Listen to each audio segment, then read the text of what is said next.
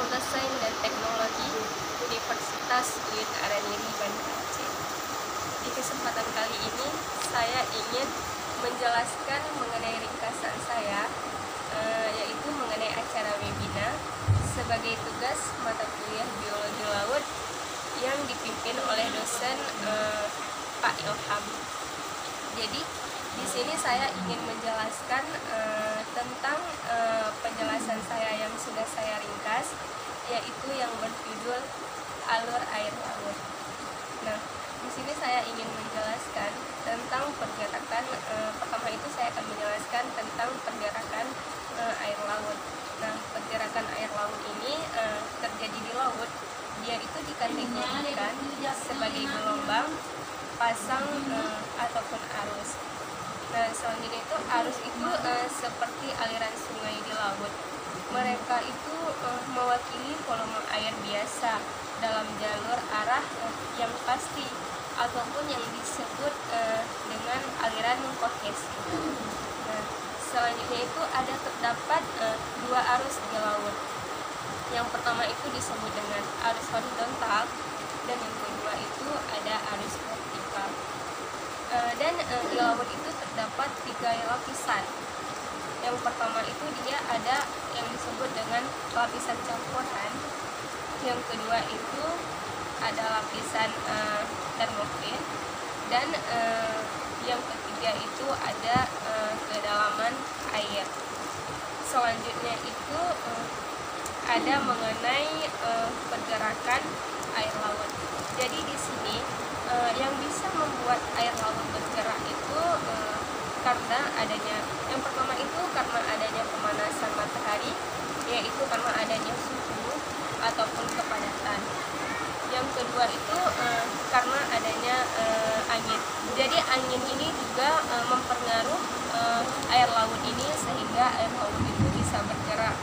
Uh, yang ketiga itu karena adanya gravitasi ini adalah salah satu yang menyebabkan air laut bergerak dan eh, yang keempat itu karena adanya kekuatan eh, Coriolis. Jadi kekuatan Coriolis ini juga bisa menyebabkan air laut ini bisa bergerak. Selanjutnya ada eh, yang mempengaruhi gaya arus. Eh, yang mempengaruhi gaya arus itu karena adanya eh, perbedaan temperatur. Eh, perbedaan temperatur ini juga mempengaruhi gaya arus dan ada juga uh, salinitas dan perbedaan salinitas ini juga uh, mempengaruhi uh, gaya arus tersebut. Nah, selanjutnya ini ada uh, efek uh, Coriolis. Jadi uh, efek Coriolis ini disebabkan oleh uh, bumi berputar. Jadi uh, sebagian besar uh, akibatnya itu dalam garis lintang uh, yang berbeda. Uh, jadi uh, bumi ini bergerak uh, dengan cara yang berbeda-beda. Uh, dengan uh, cara kecepatannya itu bisa uh, kita mengatakannya. Jadi uh, kita bisa mengatakan di mana efek Coriolis ini uh, terkuat dan di mana sih uh, efek maksimal Coriolis ini uh, yang ada di kutub.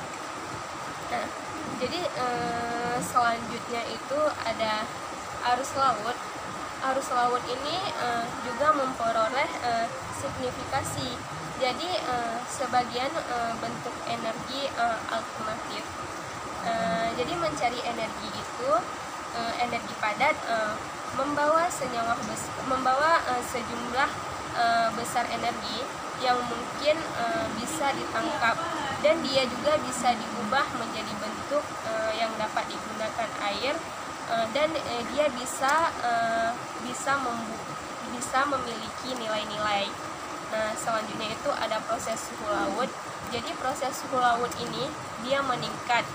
Uh, dia meningkat uh, air laut ini um, mencair mencairnya es dari daerah dan mengubahnya uh, kon konveyor laut ini dia menjadi hangat menjadi hangat dan juga menghasilkan uh, peningkatan juga menghasilkan peningkatan uh, cerahnya hujan. Misalnya itu uh, di udara. Di udara ini ada banyak uh, glaser. Banyak glaser yang bisa membuat uh, mencairnya es mencairnya es dari laut. Adanya aliran masuk uh, air tawar yang hangat ke permukaan laut dan dia bisa menyebabkan atau terganggunya uh, pembentukan air. Sekian uh, penjelasan dari saya, banyak kurangnya saya mohon maaf.